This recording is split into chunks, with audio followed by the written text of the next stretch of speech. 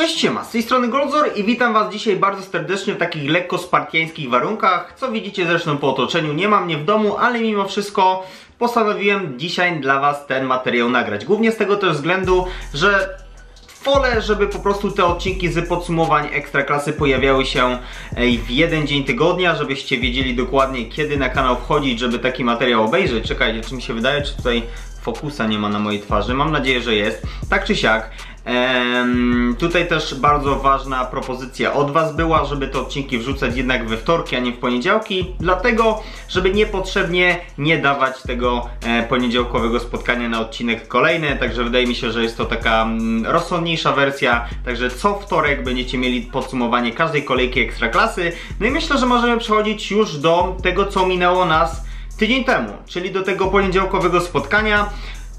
Pierwszą kolejkę zamykał mecz Korony Kielce z Zagłębiem Lubin. Tam mieliśmy wynik 1 do 0 dla, e, dla Lubinian. E, no i śmiało można mówić, że Zagłębie Lubin naprawdę, naprawdę powinno się z tego wyniku cieszyć, bo Korona Kielce naprawdę miała tam mnóstwo sytuacji, żeby to spotkanie wygrać.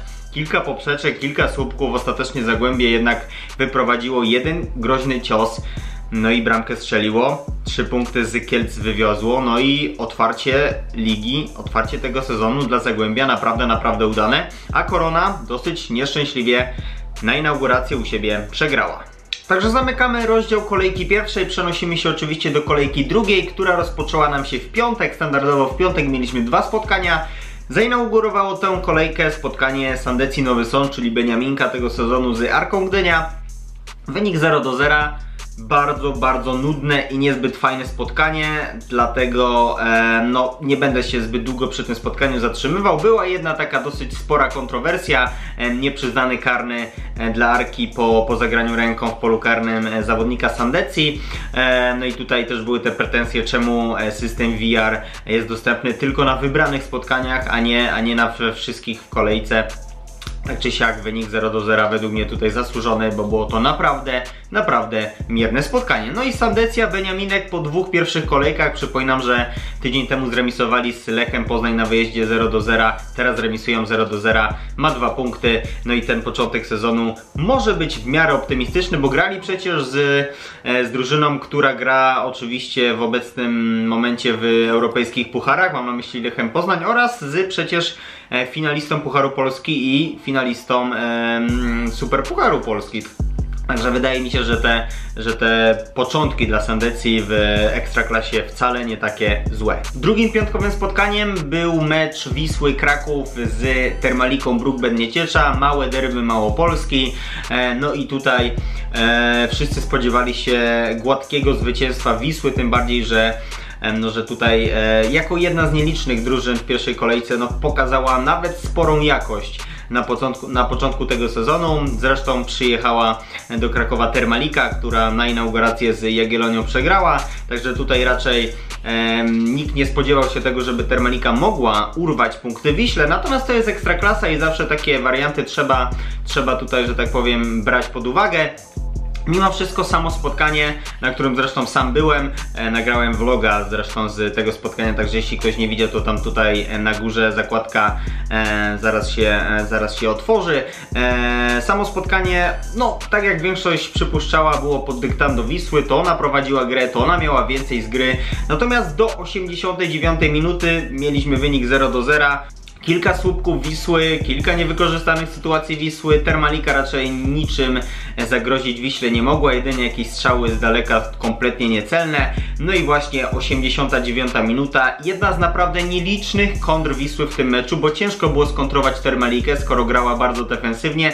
A jednak jedna taka kontra wyszła, 89 minuta. Akcja lewą stroną, Sadlock dośrodkowuje, Brlek zamyka akcję głową, no i mamy bramkę, która zakończyła, jak się później okazało, to spotkanie. Także drugie zwycięstwo Wisły w tym sezonie, no i z sześcioma punktami po piątkowych meczach w tabeli Wisła prowadziła. W sobotę rozpoczęło nam spotkanie Piasta Gliwice z Pogonią Szczecin, e, czyli drużyny, która na inaugurację zremisowała oraz przegrała. Nie za wiele nam się działo w pierwszej połowie tego spotkania. Większość, że tak powiem, ciekawych rzeczy miało miejsce w drugiej połowie. W drugiej połowie zresztą też padały bramki, bo jak wiecie, wynikiem końcowym było zwycięstwo 2 do 1 e, Pogoni e, Szczecin. Natomiast ta bramka dająca 3 punkty portowcom padła dopiero w doliczonym czasie gry. E, zresztą te bramki przed, również w miarę, w miarę pod koniec spotkania. Piast myślę, że znowu może sobie pluć w brodę, bo to znowu nie był mecz taki, żeby Piast tutaj mm, punkty tracił, tak? W sensie to nie było tak, że przez swoją słabą dyspozycję punkty stracili. E, znowu kilka niewykorzystanych sytuacji. Portowcy wykorzystali to, co mieli, e, strzelili bramkę, tak jak mówię, w doliczonym czasie gry. No i po inauguracyjnej porażce z Wisłą teraz zdobywają 3 punkty, a Piast może, tak jak sobie mówię, po raz kolejny pruć brodę. Pluć, nie pruć. Po meczu w Gliwicach wszystkie oczy były skierowane na Gdańsk, bo tam tamtejsza Lechia grała z Krakowią, e, czyli Lechia, która bardzo dobrze zainaugurowała ten sezon zwycięstwem z, Wisłą Płock, kontra Krakowia, która kompletnie zawiodła w meczu z e, Piastem. No i co? No i co? Lechia mimo bardzo, bardzo optymistycznego początku, gdzie w pierwszych powiedzmy 10 minutach kompletnie zdominowała mecz i powinna tam strzelić przynajmniej dwie bramki, Nagle, nagle upadła, nie wiem jak to nazwać, i Krakowia strzeliła, uwaga, w tym meczu trzy bramki. Strzeliła Krakowia w tym meczu trzy bramki, natomiast dwie z nich przez system VR nie zostały przez Szymona Marciniaka uznane. Natomiast wynik końcowy tak czy siak dla, e, dla klubu z Krakowa był korzystny, bo wywieźli oni z Gdańska trzy punkty. I ten wynik naprawdę robi wrażenie, bo e, Lechia no, niezwykła e, na swoim stadionie punktów tracić. Lechia, która tak jak mówię w pierwszej kolejce naprawdę dobrze się za, że tak powiem, zaprezentowała. No i ten wynik może tylko i wyłącznie dziwić, e, bo naprawdę to jest sezon, w którym Lechia przy dobrym starcie rozgrywek e, mogłaby sobie naprawdę zagwarantować sporą przewagę nad resztą stawki, która przecież punkty traci, zresztą zaraz przejdę do, do reszty drużyn. Także tym bardziej dziwi ten wynik, no ale cóż, Krakowia e, osiąga pierwsze zwycięstwo w lidze e, pod, e, pod, że tak powiem, wodzą Michała Probierza i wywozi bardzo, bardzo cenne trzy punkty z Gdańska. No i wisienką na torcie wieczorem o 20.30 mieliśmy w sobotę spotkanie Legii Warszawa z Koroną Kielce. Legii, która kompletnie zawiodła na inauguracji, gdzie przegrała z Beniaminkiem 3 do 1 na wyjeździe oraz Korony, która również na inaugurację przegrała swoje spotkanie, ale tak jak mówię, przegrała w dobrym stylu, bo Korona tam naprawdę dobrze się z Zagłębiem prezentowała. Tak czy siak wynik tego spotkania to 1 do 1 i Legia po raz kolejny niezbyt wiele nam pokazała. Jak na mistrza kraju, jak na mistrza Polski, ja dobrze wiem, że oni grają już w pucharach, no i też ten cykl przygotowań do sezonu był troszkę inny niż, niż takiej korony. Mogą być troszkę bardziej zmęczeni, bo mieli krótszą tą przerwę. Natomiast no umówmy się, z koroną powinni ogólnie Legia powinna takie spotkania wygrywać, tym bardziej u siebie, natomiast tutaj wynik 1 do 1 i Korona po raz kolejny naprawdę sporo jakości pokazała. Ja jestem generalnie zadziwiony postawą Korony, która naprawdę dobrze się na początku tego sezonu prezentuje i ten remis w Warszawie wcale nie jest przypadkowy. W niedzielę standardowo oczywiście dwa spotkania. Pierwszym z nich mecz Wisły Płock z Lechem Poznań, czyli dwóch drużyn, które naprawdę na inaugurację zawiodły. No i tutaj kolejna niespodzianka w tej kolejce. Wisła Płock wygrywa z Lechem Poznań u siebie po naprawdę pięknej bramce Dominika Furmana. Dominika Furmana, czyli antybohatera inauguracji, gdzie dostał czerwoną kartkę w drugiej połowie, na początku drugiej połowy, a tutaj przeprowadza naprawdę fajną indywidualną akcję, strzela z daleka, nie broni tego golkiper Lecha, no i Wisła Płock wygrywa u siebie z Lechem Poznań.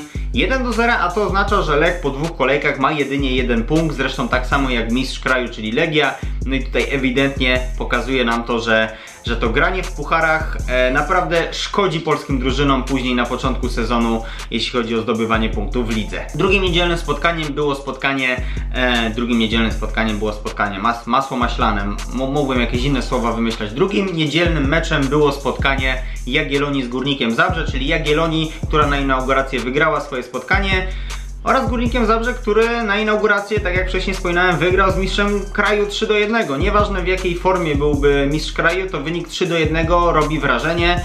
Także Jagiellonia miała się czego bać. No i naprawdę w tym spotkaniu wcale nie było tak, że Jagiellonia kompletnie mecz zdominowała. Górnik miał znowu swoje sytuacje, ale ostatecznie Górnik to spotkanie przegrał 2 do 1. Dwie bramki z rzutów karnych dla Jagiellonii. Można spekulować, że nie do końca ten, szczególnie drugi rzut karny, słusznie podyktowany, no ale cóż, stało się.